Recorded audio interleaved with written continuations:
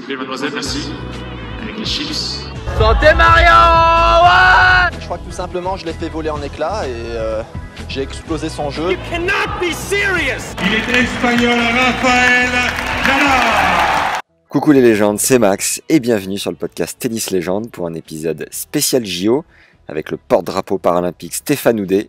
Comme chaque mardi à 17h, on se retrouve pour vous faire entrer dans les coulisses du circuit ATP et WTA à l'aide de parcours inspirants et d'histoires croustillantes.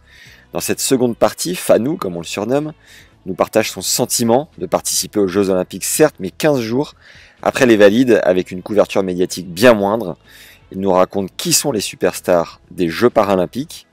Il revient pour nous sur son meilleur souvenir au JO de Rio en 2016. Nous détaille la complémentarité qu'il a développée avec son partenaire de double Nicolas Pieffer, médaillé d'or ensemble à Rio. Steph nous explique enfin la manière dont il prépare sa quatrième Olympiade à 50 piges, avec tous les outils à sa dispo et sa connaissance ultra pointue du milieu. N'hésitez pas à envoyer vos messages d'encouragement à notre invité Stéphane Houdet sur Instagram où il est très présent. Bel été les légendes, bon JO et bonne découverte à tous. Tu nous as parlé un petit peu de l'ambiance au village avec euh, les infrastructures, la logistique. Est-ce que tu sais les différences majeures entre les Jeux olympiques et les Jeux paralympiques? Forcément, en termes de visibilité, c'est, après, c'est pas forcément à la même euh, échelle. Euh, mais est-ce que euh, toi, tu as des données comme ça? Est-ce que tu sais vraiment de l'intérieur pour l'avoir vécu quoi? Bon, Alors, ce qui est sûr, je vais te le lancer en, en boutade puisque j'ai vu que la question était posée. Il y a aussi beaucoup de préservatifs qui sont distribués et je suis pas sûr qu'il y en ait autant d'utilisés. ouais, c'est la question, c'était euh, réputation, c'est ouais. d'être une orgie au JO. Est-ce que c'est pareil ouais. au para? Du coup, euh, ouais. pas forcément autant. Quoi. Ouais, non, je suis moins sûr. Je suis moins sûr. Différence. On a quelques sports qui sont différents. On a des sports euh, qu'on retrouve uniquement aux Jeux paralympiques, comme euh, la boccia. La boccia, c'est une sorte de, de pétanque euh, qui peut jouer soit en fauteuil roulant, donc dans ce cas-là, c'est de la pétanque, mais aussi parfois avec des dispositifs particuliers pour les gens qui n'arrivent pas à lancer la boule. Et là, c'est un, un, jeu d'adresse où, comme au bowling, tu vas mettre la, la boule sur un guide. Là, j'ai regardé le, le, basket à, le basket à 3 contre 3, c'est génial. Qu'est-ce que je peux te dire C'est pas, c'est pas trop frustrant de ne pas être en même temps, euh, de pas tout faire en même temps, par exemple, tu vois, d'être avec euh, la première session, on va dire, de, de, de, Jeux Olympiques, quoi. Écoute, quand on, quand on, on participe au tournoi du Grand Chelem et qu'on est dans les vestiaires avec les grands noms, euh, en l'occurrence du tennis pour moi, mais les grands noms du tennis qu'on connaît, c'est sûr que ça, ça doit être magique de, de, participer à une épreuve où on pourrait être tous réunis. Et je ne le mets pas dans le cadre de la frustration, je le mets dans le cadre de l'évolution.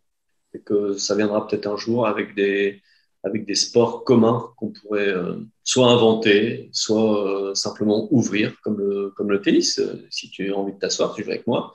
Et puis c'est fini, ça devient le premier sport en fauteuil candidat aux Jeux Olympiques. Terminé. Yes. C'est vrai que j'aime bien cette, cet angle-là. Est-ce qu'il y a des, des, superstars aux Jeux Paralympiques? J'imagine qu'il y en a, mais euh, si oui, lesquels? Ouais, alors bah, donc euh, la superstar déchue aujourd'hui, parce qu'il a montré que tu pouvais euh, être ouais. différent et aussi contre les autres, euh, dangereux, tout ce que tu veux, c'est Oscar Pistorius. Ouais. Puisque Oscar, il avait trois. il était numéro 3 en termes de, de, de, de, de contrat de sponsoring à l'époque. Il était suivi par les médias de façon tout à fait incroyable, puisque euh, quand il est en demi-finale des, des, Jeux de Londres, aux Jeux Olympiques, il a plus de médias que n'importe qui. C'est jamais arrivé d'avoir autant de médias sur la piste pour une demi-finale. Euh, C'était notre superstar. Après, on a aujourd'hui un sauteur en longueur qui s'appelle Marcus Rem, qui était le meilleur performeur de l'année, qui, est un gars qui est incroyable, mais un, peu moins connu certainement parce que le sport est un peu plus confidentiel, je dirais, ou en tout cas peut-être aussi parce qu'il n'a pas eu le droit de participer au jeu, là justement, euh, parmi les, les, les, erreurs de communication de Pistorius, il y a eu aussi le fait qu'il ait réussi à, à, se qualifier pour les Jeux olympiques avec une lame en défendant pendant, euh, pendant des années qu'une lame n'était pas un avantage, sauf qu'en perdant la première course des Jeux paralympiques dans la foulée, il s'est plaint de l'athlète brésilien qui venait de le battre en disant ah ouais mais de toute façon ces lames elles sont euh, euh, trop grande, c'est tellement un avantage d'avoir des lames que euh, c'est pas possible. Donc le gars, c'est le cas de le dire, il nous a coupé l'herbe sous le pied, à défaut de nous couper les jambes. Donc, euh, bah, lui, il s'est coupé de sa vie de sportif, mais à mon avis, il a un peu coincé les autres, en, en l'occurrence Marcus Rem. On a une euh, joueuse de tennis de table qui est en train de participer là en ce moment, qui est juste incroyable, qui s'appelle Natalia Partika, et elle joue les Jeux Olympiques, et elle est quintuples championne paralympique, euh, déchire tout euh, au tennis de table. Et je crois que sa meilleure perf, ça a été d'a- d'avoir battu la numéro 5 mondiale aux Jeux Olympiques. Mais c'est quoi son handicap du coup? Elle a, elle a une, une malformation de naissance et, et- et elle n'a pas de main, D'accord. côté gauche, donc elle, elle coince la balle dans son cou pour la lancer au service. Ouais, énorme. Puis après, elle joue. euh, ouais. C'est l'inverse, elle est, est peut-être gauchère. Et après, euh, euh, et ça dépend des nations en fait. Euh, L'Afrique du Sud suit beaucoup ses athlètes et il y a un, un- un- un jeune garçon pour lequel je suis vraiment très heureux que ça se passe comme ça, mais il s'appelle Tando. Tando, en fait, euh, dans un programme pour lequel j'étais ambassadeur. Je l'ai fait équiper de prothèses quand il avait euh, 13 ans, 14 ans. Et, le gars est arrivé à l'époque, c'était à Doha, euh, avec ses deux prothèses. On a fait une présentation sur scène euh, euh, de, de, ses prothèses de course. Mais il a commencé à jouer au foot et à courir. Et aujourd'hui, il a le record du monde. Euh, à l'époque, il avait eu le record du monde assez vite euh, chez les juniors. Et puis là, maintenant, je pense qu'il est euh, ultra favori euh, aux 100, 200 ou 200 et 400. Ok. Euh, et donc, c'est un personnage incroyable. Et en Angleterre aussi, tu as beaucoup de, de suivi des athlètes. Donc, je pense que Gordon Reed, chez nous, euh, au tennis fauteuil, et Alfie Hewitt commencent à être bien connus. Mais tu as aussi un gars qui s'appelle Jenny Peacock. Tu as une nageuse. Et puis t'as Shingo. non, Ah, Shingo. et puis bien sûr, et puis bien sûr, et puis évidemment, et puis euh, t'as le, t'as le grand euh, Shingo Kuneda qui est juste euh, incroyable et à l'échelle d'un d'un peuple qui suit tellement tous ces athlètes, Ouais. euh, qui sait même qui s'approprie euh, Naomi Osaka, mais qui fait ça avec Nishikori, qui fait ça avec le japonais qui vient de gagner le Masters aussi de golf. Euh, ils en ont, toute une collection, mais en tout cas, ouais, Shingo, parmi les, les signes qui montrent que c'est une superstar dans son pays, il y a aussi un, un dessin animé qui est euh, sur lui. Ok. Ça. Ouais, et, puis, bah, et puis moi, je me suis amusé, hein, mais j'ai fait des, des conférences de presse au Japon Ouais. pour, euh, pour le Japan Open, tout simplement, où je prenais en photo les gens qui étaient en face de moi, et c'était que des journalistes, parce que tu avais 4 télé, 35 presse écrits, 20, pr- 20 radios, et, Wow. et, et je disais, attendez, stop, attendez, je peux. euh, et, euh, mais c'était incroyable, incroyable. Même, même quand moi j'étais commentateur, j'avais accès aux salles de conférences de presse à l'Australian Open, à New York ou à Roland, j'avais jamais vu autant de monde. C'est incroyable. incroyable. Ouais. C'est bon ça. Alors Rio, euh, Rio, Steph, ouais. une anecdote sympa et puis peut-être ton Ouais. meilleur souvenir de, de là-bas. Ouais, alors, Rio, bah forcément, on a un truc incroyable. Ouais. C'est que le jour de la finale, euh, dans, le, dans, le- dans le grand resto, au moment du déjeuner, je suis avec Nicolas. Et là, on a un monsieur qui arrive en face de nous et on est tous les deux euh, complètement quoi. Et on se dit, mais, ah, c'est pas vrai. En plus, le village, c'est interdit de rentrer. Donc, on savait, on avait vu, on avait vu notre secrétaire d'État, qui Ségolène Neuville, qui était venue avec, euh, à l'époque, qui était venue avec son, sa, sa directrice de cabinet, euh, mais, mais pas dans le restaurant. Là, dans le restaurant, on pouvait se croiser au Club France ou sur les épreuves. Et là, dans le restaurant, un monsieur qui vient, vous connaissez tout de suite, et en fait, c'est le commissaire au sport militaire. Et le commissaire au sport militaire qui s'occupe de nous, puisqu'à l'époque, je suis au ministère des Armées, et il s'occupe de l'armée de champions. Et Nicolas est dans l'armée de champions. Je suis, devenu conseiller sport et handicap au ministère des Armées, mais euh, je, je suis aussi dans l'équipe. Il vient nous voir et dit ben, moi, les gars, vous êtes en finale, il n'était pas question que je vous laisse de côté. Euh, la, nation euh, vous sera à tout jamais reconnaissante et le ministère aussi. Donc sachez que s'ils appellent ça comme ça, mais s'il y a une levée des couleurs, c'est-à-dire si vous gagnez la médaille d'or, je vous saluerai. Donc, euh, et il nous fait ça. Et on se regarde avec Nicolas et on se dit, bah, nous, mon colonel, mon commissaire, bah, on va vous saluer aussi en retour. On est, on est civils tous les deux, mais on se dit, on va vous saluer en retour. Bah, on gagne. Et là, c'est la Marseillaise. Et puis, on est fiers comme des bar tabac tous les deux. Et on regarde et on le voit en face de nous qui nous salue. On voit le drapeau qui monte, on regarde et puis on fait. euh, on se fait comme ça. Et il se trouve que cette anecdote perdure puisque euh, ce geste va être salué des mois plus tard toute l'armée de champions est réunie. Et euh, entre-temps, mon cousin, qui est fils de général, me dit euh, ah, c'était magique, hein, fan de tennis, fan de judo aussi, euh, fantastique la médaille d'or, les gars.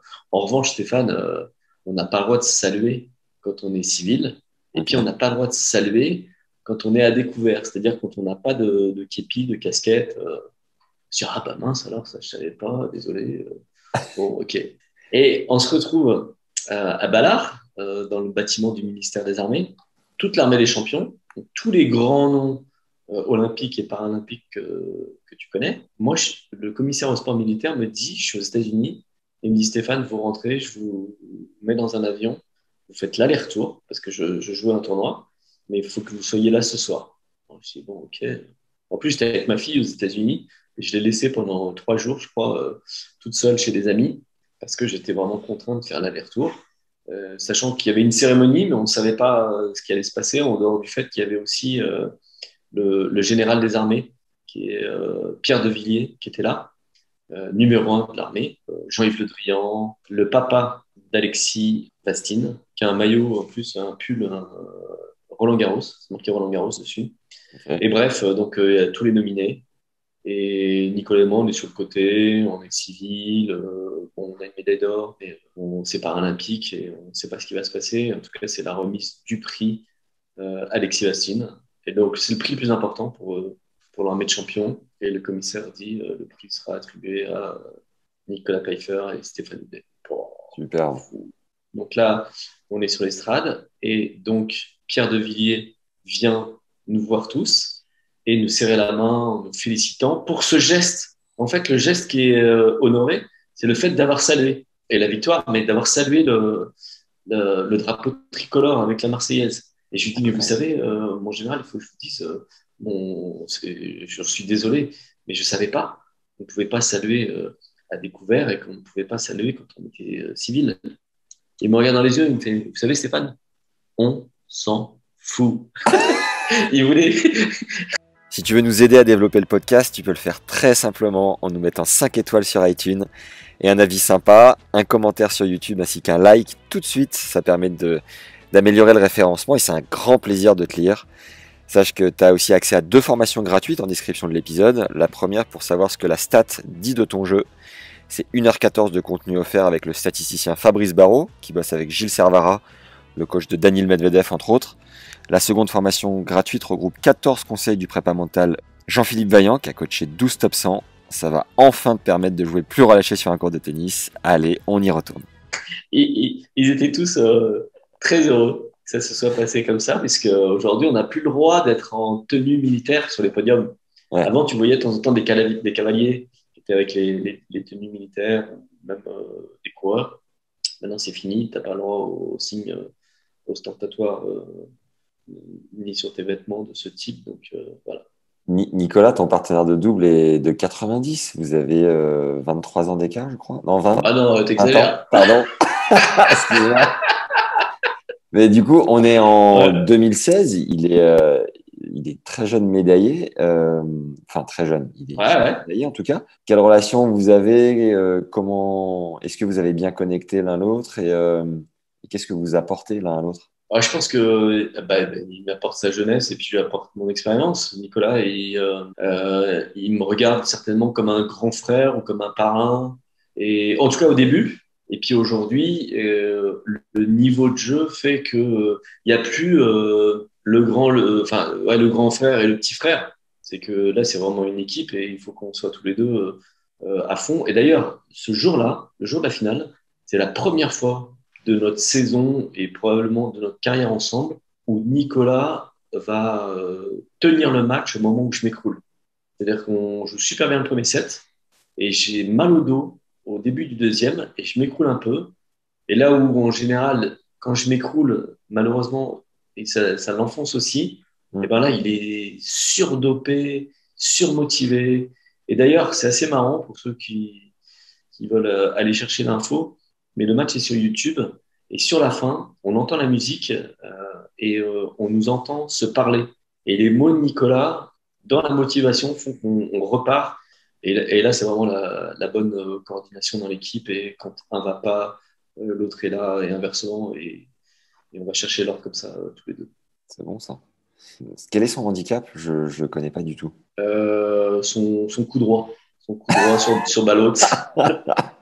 Salopard. sur balle haute, quand elle avance pas, il a du mal à, il a du mal à la faire euh, comme il faut. Mais sinon, euh, de, de naissance, il, est, euh, il a eu une malformation et il a été amputé des, des membres inférieurs au-dessus du genou.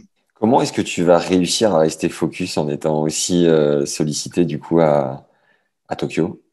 Bah là, j'ai demandé à ce qu'il n'y ait pas de public, est-ce qu'il y ait une pandémie dans le monde entier pour que nos familles ne puissent pas venir Ouais. et Du que coup, ça, ça filtre. voilà, donc ça limite. Ouais, tu. Ouais, je pense que là, on va faire beaucoup de digital, Mm. plus que d'habitude. Et puis, euh, c'est vrai que le, le tennis, c'est une épreuve qui est longue, euh, contrairement au judo. Et là, j'ai la chance d'être en binôme avec Sandrine. Donc, euh, Sandrine, elle va faire son épreuve et après, elle va pouvoir bouger plus que moi. J'espère ne pas pouvoir trop tôt bouger puisque ça voudrait dire que j'aurais perdu. Et ensuite, euh, on va se compléter là-dessus. Et puis, bah, moi, je laisserai mon, mon numéro à disposition pour, pour tous les athlètes et ceux qui ont besoin d'échanger, on échangera. Mais on a des moments aussi euh, où on se retrouve dans le, dans le bâtiment de l'équipe de France et où on peut être euh, posé à échanger sans que ce soit une consommation d'énergie euh, Mm. importante, surtout quand on a l'expérience. Donc le rôle aussi de porte-drapeau, c'est d'être référent des athlètes. Et euh, à la moindre question, tu es là pour répondre, c'est ça? Tu dis, tu laisses ton numéro à disposition Non, ouais, alors non, pas référent des athlètes parce que tout ce qui est euh, euh, administratif est aussi géré par, euh, par le staff. Mais en tout cas, euh, des, des- des plus jeunes ou euh, des gens qui auraient euh, euh, des demandes plutôt sur la manière. Pour moi, pour bien réussir ces jeux, il faut savoir mettre l'événement à distance en se disant, en, se disant pas c'est l'épreuve, parce qu'on m'a trop dit ça, moi. Longtemps, on m'a dit, ah, les jeux, c'est l'épreuve, c'est fantastique, c'est incroyable, faut vraiment réussir ces jeux. Et je pense que c'est le meilleur moyen de se planter.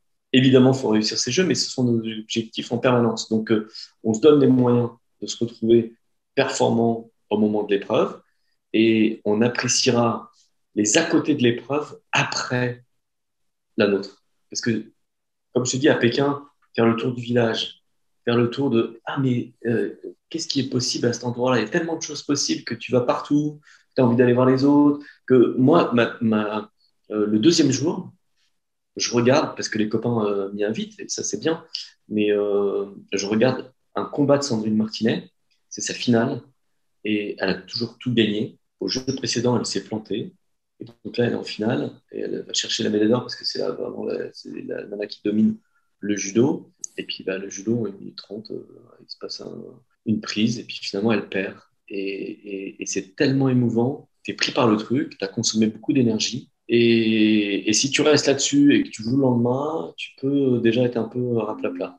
Donc il faut aussi savoir euh, apprécier ce que font les autres. Mais ça, ça arrive à tous les joueurs de tennis. C'est que avant ton match, si tu regardes le match d'un copain, tu crames un peu parce que tu t'excites. Tu dis ah, attends, il y a 6 partout, 6 4. Oh, il a sauvé une balle de match. Ah, il revient. Et puis voilà, t'es, euh, tu fais pas exprès, mais tu consommes de l'énergie.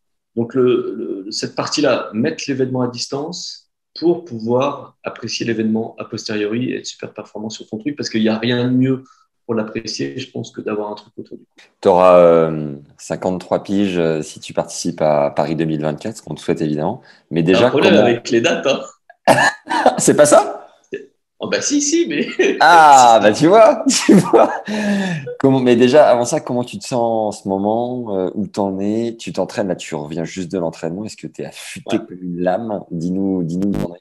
Ouais, je me sens bien, je tape bien dans la balle et en même temps, euh, on a un joueur alors, en ce moment qui est super fort, Ouais. le joueur anglais, qui s'appelle Alfie Hewitt et qui là euh, bah, a éclaté en quart, mais a éclaté bah, son compatriote demi et puis Shingo Kuneda en finale là au British Open. Et lui, c'est très très particulier. D'ailleurs, je le félicite de pouvoir être autant engagé puisque la Fédération internationale de tennis l'a viré euh, de notre sport. Et étant donné qu'il y avait les jeux, ils ont dit bah, on te laisse faire les jeux. Et comme on te laisse faire les jeux, on te laisse faire les épreuves euh, qui précèdent et certainement celles qui suivent jusqu'au 31 décembre. Au départ 2020, comme les jeux ont été décalés, 31 décembre 2021. Il se trouve qu'ils ont, sous la pression du Comité paralympique international, décidé de revoir leur système de minimum handicap pour jouer au tennis Donc, complètement à l'opposé de ce que moi je veux faire et faire en sorte que le, le, tennis soit un sport, le tennis fauteuil soit un sport ouvert à tous. Ils ont dit, bah, si tu n'es pas assez handicapé, tu n'as pas le droit de jouer. Hmm. Et il se trouve que lui, ils ont défini que c'était son cas. Voilà, il s'entraîne énormément, il joue très bien, il nous permet d'être plus fort aussi parce qu'on doit s'améliorer pour jouer avec lui et le battre. Et voilà, ils ont pris cette décision. À mon avis, ils se sont mis une épine dans le pied parce que je ne sais pas comment ils pourraient revenir en arrière, mais en même temps, c'est quand même incroyable d'éliminer un, jeune. Il est jeune, il joue bien, il est anglais, je comprends pas. Combien, combien d'heures tu t'entraînes par jour là? Comment, comment tu te prépares? Euh, bon, Là, on était sur des tournois. Donc, euh, Quand on est sur des tournois, on, s'entraîne moins, mais quand on s'entraîne, c'est un mélange de tennis, de prépa physique, et puis on a beaucoup d'exercices, enfin beaucoup d'exercices, non, des exercices sur la concentration, la prépa mentale. Et on a plein de machines au, Centre national d'entraînement qui nous permettent de, travailler euh, la vision périphérique et aussi la concentration avec des balles qui sont. On a un casque de réalité virtuelle, des balles qui bougent dans tous les sens, qui changent de couleur et qu'on doit identifier.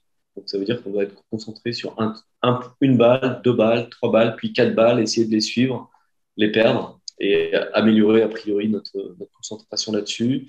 Euh, je travaille beaucoup. Alors ça, c'est un système qui a été mis en place. J'ai la chance d'avoir aussi euh, à mes côtés un, référent scientifique de la Fédération française de tennis qui s'appelle Cyril Brechbull, qui me fait travailler, ça me convient très bien, jamais dans le rouge. Et donc, euh, je ne me souviens plus quel est le nom exact, mais c'est a priori ce qui était utilisé par Martin Fourcade. Tu travailles souvent à 80, 80, tu dépasses jamais 95% de ton max. Tu peux toujours parler pendant que tu travailles pour être euh, au max en permanence. Ça tombe bien, Max, tu vois, c'est une légende. Et, donc ça, c'est la partie euh, avec Cyril. Et puis, je suis aussi entouré de sparring. Donc, euh, bah, Nicolas Sarrazin, dont je parlais tout à l'heure, qui était avec moi quand, j'ai appris que j'avais porte-drapeau. Et puis, un jeune qui est en STAPS, qui vient d'avoir sa licence, que je félicite, qui s'appelle Victor Le Tiec, euh, et euh, avec son pote euh, Vincent, ils sont tous les deux profs de tennis, passionnés de, tennis, et ils m'ont beaucoup aidé pendant, pendant la saison, pendant la, saison hivernale et puis pendant, cette année pour, se préparer, parce qu'eux, ils faisaient un stage au départ. Et, et puis, bah, mon, mentor, qui est Christian Fillol, qui est, il n'aime pas du tout le terme de coach, donc c'est un conseiller qui fait du conditionnement positif, c'est-à-dire qu'il m'aide à toujours voir le verre à moitié plein. Déjà que moi, naturellement, je le vois, mais lui, il, est d'une force incroyable à tel point que ça ne le choquera pas. Mais par exemple, euh, il a perdu son père euh, l'hiver dernier et il m'a envoyé le message comme étant une, une célébration qu'il venait de faire parce que son père euh, rejoignait ce qu'il avait toujours voulu faire. C'était un pasteur qu'il allait vivre une suite heureuse. Donc même dans la mort, lui, euh, il voit les choses toujours positivement. Euh, quand tu perds, c'est que tu es là pour t'améliorer, que tu as appris à t'améliorer. Si tu perds vite, comme j'ai perdu vite contre Alfie, bah, c'est que j'avais besoin d'aller vite voir les autres matchs pour mieux apprendre. Et donc ça, c'est sur la partie mentale, mais sur la partie technique aussi, c'est incroyable. C'est-à-dire que moi, je passe mon temps à poser des questions et lui, il a toutes les réponses et les réponses d'une simplicité euh, tennistique euh, incroyable. Il a des notes sur tous les joueurs et toutes les joueuses de la Terre parce qu'il s'occupe de moi, mais aussi de, de joueuses WTA et de, joueurs ATP. Et, on fait des exercices. Alors, il a plein d'exercices aussi qui sont des exercices secrets pour, euh, pour, améliorer les performances, la qualité de la frappe, euh, des trucs aussi que tu vois nulle part ailleurs. qu'on fait, donc, quand je dis secret, c'est des trucs qu'on fait en cachette mais on, on, essaye plein de trucs. On est capable, moi, je suis capable de jouer au mur et d'apprendre des trucs en jouant, en jouant au mur, jouant avec deux balles. Tu as les exercices que tu vois avec, euh, avec Sania Mirza, mais aussi avec Karablack, qui joue euh, contre un mur pour parfaire ses, ses volets. Ça, ce sont des choses qu'elle a faites euh, avec Christian. Il est loin, le, le, champion du monde de la démerde qui avait 30 ouais. Bah ouais, mais... Incroyable c'est le cadre autour. Mais parce que eux sont tout le temps en train de veiller sur moi qui suis capable de m'échapper assez vite de, ces trucs-là. Ma femme, la première, hein, elle, elle c'est une chef d'entreprise. Elle me dit toujours, euh, elle parle méthode, méthode, méthode. Et moi, je parle créativité, créativité, créativité. Donc, on essaye de, de faire marcher les deux ensemble. De, ouais, de faire marcher, de se compléter justement sur le sujet. Mais trop de méthodes, moi, trop de rigueur sur, sur les process, ça me, Ça te ça me gêne. trop. Ça me gêne Ouais. ouais. Bon, en tout cas, on te souhaite évidemment euh, la breloque euh, de couleur or, euh, si possible. et deux, évidemment, va nous les chercher, Steph, et on se fait un débrief après les JO. Et en tout cas, on te souhaite le meilleur. Merci d'avoir pris le temps. Félicitations pour, euh, Merci à toi. pour euh, voilà, cette, cette élection de porte-drapeau. C'est absolument exceptionnel. Et je suis méga heureux qu'on ait déjà fait le premier épisode ensemble parce que bah, ça, nous, ça nous a rapprochés quelque part. Et on va tourner le deuxième. On a cette, cette petite parenthèse JO entre deux, mais euh, je te souhaite le meilleur et, et on te suivra de, de très près, Ouais, même, merci, si, euh, Max. même si on est loin. Quoi. Merci Max, et ça m'a permis aussi de te suivre. Je pense que tu fais des trucs de fou. Il mec, tu les racontes un peu plus aussi. Hein. Ah bon? Un jour, il faudra, faudra faire le, le podcast de l'arroseur arrosé. Ah, yes, et bah écoute, euh, ça viendra peut-être un jour. Bon, encore un grand merci, Steph, et puis euh, à Merci à toi. ciao. Bonne soirée. Ciao. J'espère que vous avez aimé cet épisode spécial JO avec Fanou. Envoyez-lui un message sur Insta ou LinkedIn si c'est le cas. Et si vous voulez nous aider à grandir, vous pouvez le faire très simplement en nous mettant 5 étoiles sur Apple Podcast, un avis sympa ou un like et un commentaire cool sur YouTube si c'est l'endroit où vous consommez notre contenu. Un immense merci aux derniers aficionados qui nous ont mis un message adorable sur Apple Podcast. Foncez le faire maintenant et vous devenez instantanément une légende dans notre cœur. Place maintenant à un mois de rediff de nos meilleurs épisodes pendant le mois d'août. Alors continuez d'envoyer vos épisodes préférés à vos potes pour bronzer tranquillou avec Santoro, Simon, Joe Tsonga, Fabs Barro, Timéa Bazinski dans les oreilles, c'est tout bénef. Si vous êtes en tournoi cet été ou si vous voulez cirer vos potes en vacances ou même à la rentrée, il n'y a, pas de- raison, on a deux formations gratuites qui vont vous régaler. La première pour mieux comprendre ton style de jeu et avoir des schémas plus clairs sur le cours grâce aux quatre clés d'optimisation enregistrées avec, avec notre expert de la stat Fabs Barro, c'est le premier en description. Et si tu veux arrêter de mouiller en match ou dès qu'il y a de l'enjeu, j'ai regroupé 14 enseignements du prépa mental Jean-Philippe Vaillant qui est passé au micro. Je t'invite vivement à découvrir cet épisode. Jean-Philippe a coaché 12 top 100, c'est le deuxième lien en description. Tu peux aussi nous souffler des idées grâce à un questionnaire, lui aussi dans la description, il nous permet de mieux comprendre qui tu es et ce qui te plaît pour continuer à te surprendre. Un autre big merci aux tipeurs récurrents qui nous soutiennent sur la plateforme Tipeee. Ce podcast, c'est environ 15 heures de travail par épisode. Tu peux nous aider à hauteur de 2 euros par semaine, 2 euros par mois plutôt même, soit un café, ou plus si le cœur t'en dit. Tous les liens sont en dessous.